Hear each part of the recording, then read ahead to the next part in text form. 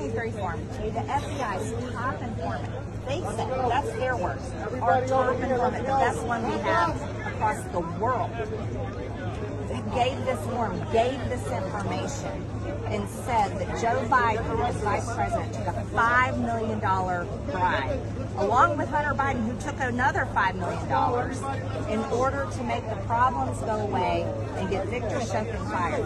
And he did it. And he's on video admitting he did it. He's on a recorded phone call, making sure it was done. And then on the 1023 form, it was redacted, but Chairman Comer saw it, and so did the minority ranking member, Representative. They saw it unredacted, where it said 17 audio recordings.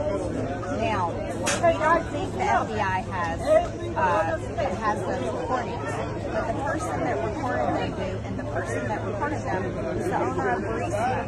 Because think about it. If you're business guy, and, the form also said, it said on there that it's common practice in Ukraine and Russia to make bribes as part of their business deals. That's not common practice here. I've never heard that. We don't do that here, but they do it there.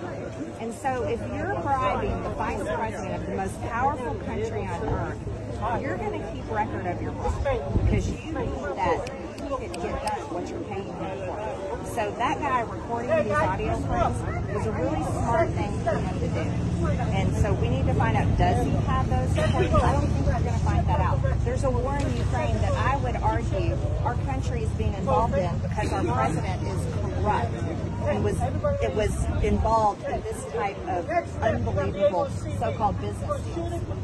But I, I, I think I think the country deserves better. And, you know, and if we were, if things were right, Joe Biden literally would have been hauled out of the White House in handcuffs over this information. But the director, Christopher Wray of the FBI, thinks that this unclassified form should not be shown to the American people and force us to read it